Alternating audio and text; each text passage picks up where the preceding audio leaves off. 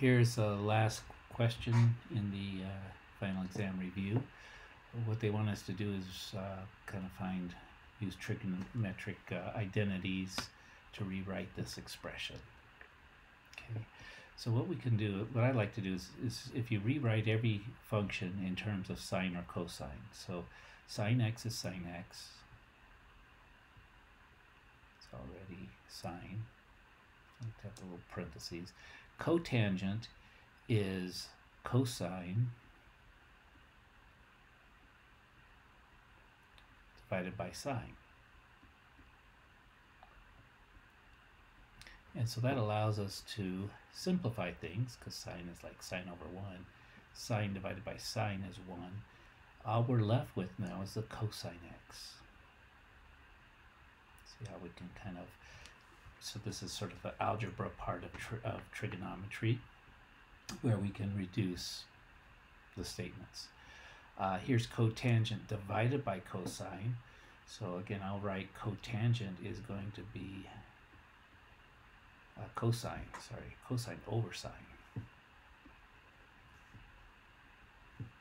Cotangent is cosine.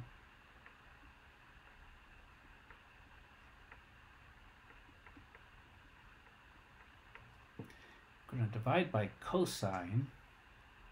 So that's cosine over 1, um, which means you invert and multiply, right? So cosine x over 1, its reciprocal is going to be 1 over cosine.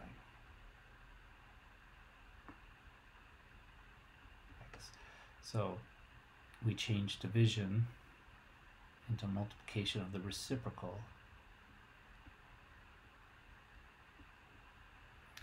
So in this case, cosine divided by cosine is 1, and what we're left with is 1 over sine x. Uh, we don't see that as an answer because what is 1 over sine x? Well, another way to write 1 over sine x is cosecant. Cosecant x. 1 over sine x is equal to cosecant x. That's our identity right there. So again, the process is change everything in terms of sine and cosine simplify, and then maybe at the end we switch back to a, a simpler function or a, a, reciprocal function or something.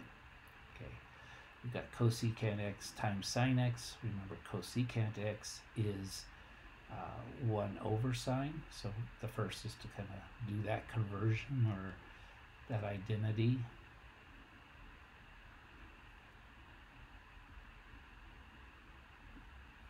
And that's sine x over 1 The sine x divided by sine x becomes 1, this whole thing is now equal to 1.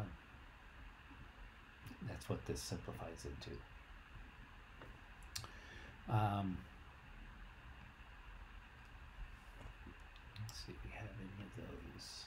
So these are reciprocal identities here. So this will be the formula sheet that comes with the test. Uh, you can see cotangents could be thought of as 1 over cosine sorry, 1 over tangent or cosine over sine. Tangent, sine over cosine. Um, secant 1 over cosine and cosecant 1 over sine. Now for the next one we're going to be using these um, Pythagorean identities but maybe in a slightly different form because well we well let's uh let's go back over here. So here we have 1 minus cosine theta. So um, taking this top one, if you subtracted cosine squared theta from both sides, you would have sine squared theta equals 1 minus cosine squared theta. Uh, see, I don't think this thing will let me write.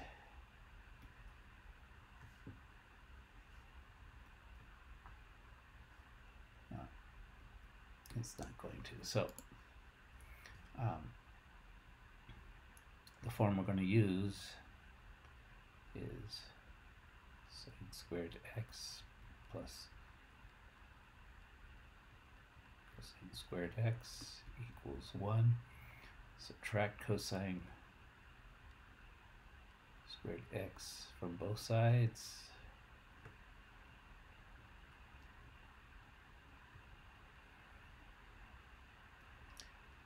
Tells us that sine squared x is equal to 1 minus cosine squared x. So this is what we have in the denominator, right? So we can replace this and say that this is 1 over sine squared x.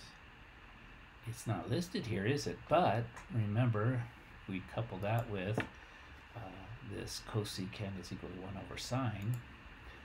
So this, using the reciprocal function, is cosecant squared of x.